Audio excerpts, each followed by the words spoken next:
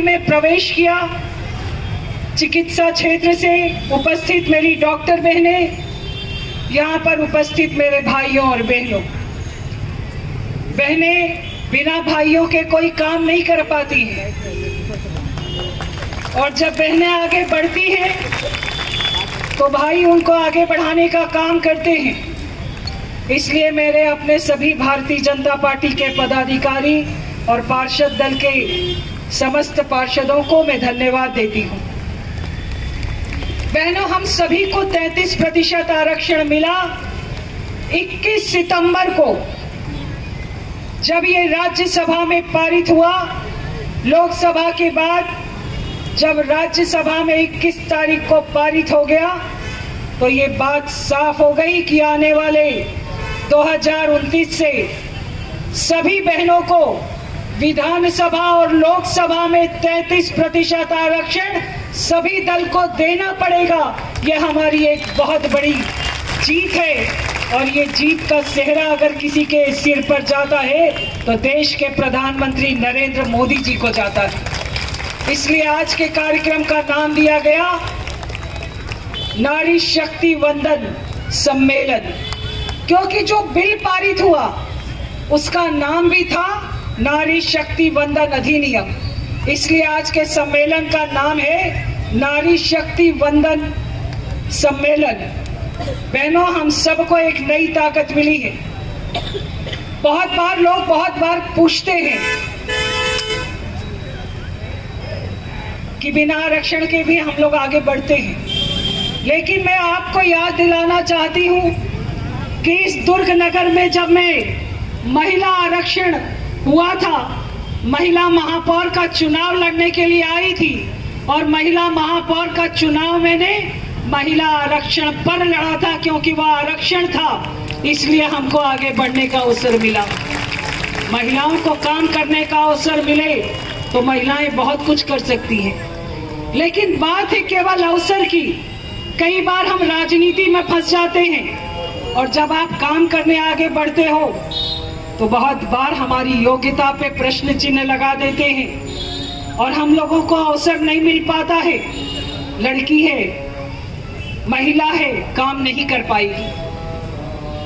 लेकिन आज हम सभी के लिए ये बहुत खुशी का पल है कि हमारे यहाँ पर हम लोगों को यह अवसर हमारे देश के प्रधानमंत्री जी ने दिया और देश के प्रधानमंत्री जी के आने के बाद इस देश में बहुत बदलाव हुआ। इसके पहले बहुत प्रधानमंत्री बने, लेकिन कभी किसी प्रधानमंत्री ने इस बात को नहीं सोचा। पिछले दस सालों में, अभी तो नौ ही साल बीता है। आपको याद होगा, जब बहुत बार हम लोगों के क्षेत्र में जब हम कहीं बाहर दौरे पर जाते थे तो शाम होती थी तो महिलाएँ सड़कों पर रहती थी, लोटा लेकर जाती थी। गाड़ी की लाइट अगर पड़ जाए तो खड़ी हो जाती थी। शाम होने का इंतज़ार करती थी। बहुत बड़ी त्रासदी थी। और जब बिटिया बाहर जाती थी माँ बाप भी चिंतित रहते थे। शाम का समय रहता था। क्यों जाती थी? क्योंकि गरीब थी। घर में शौचालय नहीं था। शौचालय नहीं होने के कारण जो पीड़ा वो माँ बाप सहते थे, जो वो बेटी सहती थी, उस बेटी की पीड़ा को अगर किसी ने देखा और समझा तो देश के प्रधानमंत्री ने समझा और इसलिए हर घर में शौचालय बनवाया। उन्होंने कहा कि किसी के घर में शौचालय ना हो, ऐसा नहीं होना चाहिए। बिटिया को शाम का इंतज़ार नहीं करना चाहिए। ऐसी भयानक त्रासदी से जिसको केवल हम महसूस कर पाते हैं, उस बात को देश के प्रधानमंत्री ने समझा। अभी गैस आपको बहुत आसानी से मिलता है। ये लोग कहते हैं कि गैस की कीमत बढ़ी। अभी रक्षाबंधन था, दो सौ रुपया गैस की कीमत कम हुई। लेकिन याद करिए, गैस इसके पहले नहीं मिलता था। गैस काला बाजारी में मिलती थी। और अगर आपको गैस का कनेक्शन चाहिए तो सांसद के यहाँ पे आपको लाइन लगानी पड़ती थी, तब जाकर गैस का कनेक्शन मिलता था। गैस मिलती ही नहीं थी। गैस का कनेक्शन मिलता ही नहीं था। तो क्या करते थे? तो हम लकड़ी जलाते थे, चूल्हा फूंकते थे। और चूल्हा फूंकने में एक बार जब हम चूल्हा फूंकने जाते थे, उसके धुएँ से एक बार में कम से कम 40 सिगरेट का धुआँ हम अपनी छाती में उतारते थे। वो महिला अपने बच्चों को खाना बनाकर खिलाने के लिए 40 सिगरेट का धुआँ एक बार छाती में उतारती थी। और जब 40 साल की होते होते 60 साल की दिखती थी क्योंकि गरीब थी, इलाज करा नहीं पाती थी और वो लकड़ी फूंकते फूंकते उसको बीमारी हो जाती थी। इसलिए देश के प्रधानमंत्री ने कहा कि किसी को चूल्हा नहीं फूकना पड़े। मेरी वो बहन जो 40 साल में बूढ़ी दिखने लगती है, वो बहन को इतनी बीमारियाँ घेर लेती हैं गरीब है, इसलिए वो बीमारी का इलाज नहीं करा पाती है। उसके बीमारी का इलाज होना चाहिए। गरीबी के कारण वो बीमारी बता नहीं पाती, कर नहीं पाती।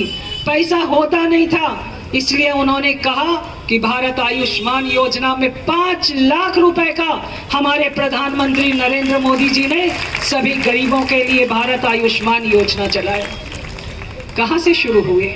मैं ये योजना इसलिए नहीं गिना रही हूँ इसलिए गिना रही हूँ कि किसी ने गरीबी अगर देखी तो वो गरीबी की बात को उन्होंने समझा, इसलिए हमारी बात को उन्होंने पूरा किया। और आज इस बात को मैं कहना चाहती हूँ कि 33 प्रतिशत आरक्षण के बाद हमारी बहनें विधानसभा पहुंचेंगी। 33 प्रतिशत आरक्षण के बाद हमारी बहनें लोकसभा पहुंचेंगी और हमारी बहनों को एक नया अवसर मिलेगा। बहनों, हम सब अपने प्रधानमंत्री को धन्यवाद देते हैं। आज भी इसलिए इस सम्मेलन का आयोजन है। मेरे साथ में जोरदार, मैं जब आपको धन्यवाद कहूँ, जब तो आपको पीछे धन्यवाद धन्यवाद कहना है। धन्यवाद धन्यवाद। मोदी जी को धन्यवाद। मोदी जी को धन्यवाद। मोदी जी को धन्यवाद। देश के प्रधानमंत्री ने हम सभी के लिए एक नया सूरज एक नया सवेरा, खुला आसमान उड़ने के लिए तैयार हो जाइए। हम सब आरक्षण में ही सही, लेकिन हमें मौका मिलेगा। ये हम सब के लिए खुशी की बात है। इसलिए देश के प्रधानमंत्री जी के लिए एक बार जोरदार ताली बजाइए। ये हमारे अपने प्रधानमंत्री जी के लिए है। बंधुओं और बहनों, में आपको एक बात कहना चाहती हूँ। पीछे मेरे भाई लोग भी बैठे और जब ये बात मैं बिना कहे चले जाऊँ यह आरक्षण हमें देश के प्रधानमंत्री जी ने दिया, एक भाई ने दिया। गैस सिलेंडर की कीमत ज़्यादा हो गई तो उसको कम किया।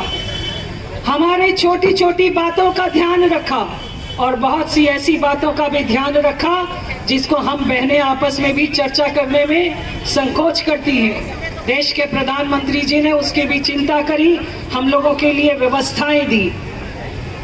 आज मेरे यहाँ पे बहुत से भाई बैठे हैं। मैं अपने सभी पार्षद भाइयों को, नेता प्रतिपक्ष सहित उनके पूरी टीम को, मेरे पूरे पदाधिकारियों को और पीछे जो मेरे भाई बैठे हैं, मैं उन सभी लोगों को बहुत धन्यवाद देती हूँ, क्योंकि जब बहन आगे चलती है तो भाई पीछे खड़े रहते हैं।